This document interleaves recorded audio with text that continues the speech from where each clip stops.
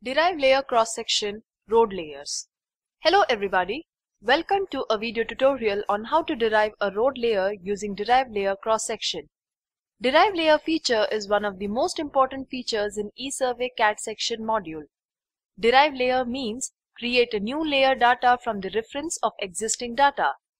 In ESurvey CADD, we can create standard road layers with two methods.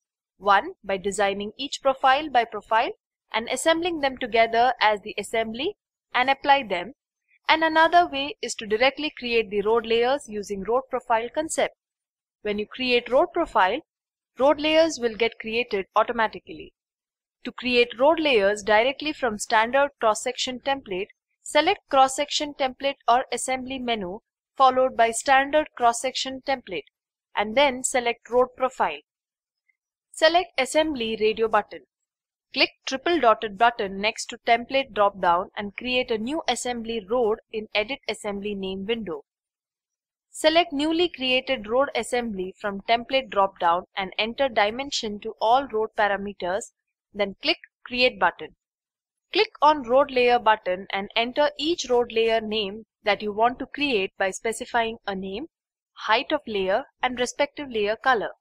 Once you create all the required layers, say base, GSD, WMM, PM, SDBC, click on Apply button.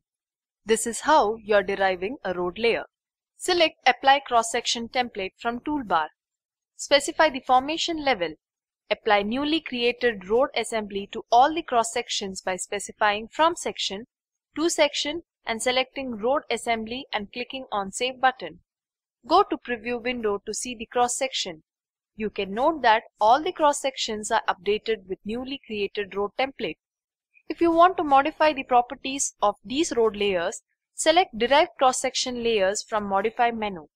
Select one of the road layers created and you may change the properties like line joining type or if the road layer to be created only in widening portion.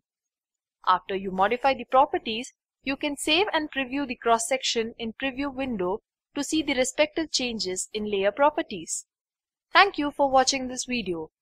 In the next video, you will learn how to derive longitudinal section layers.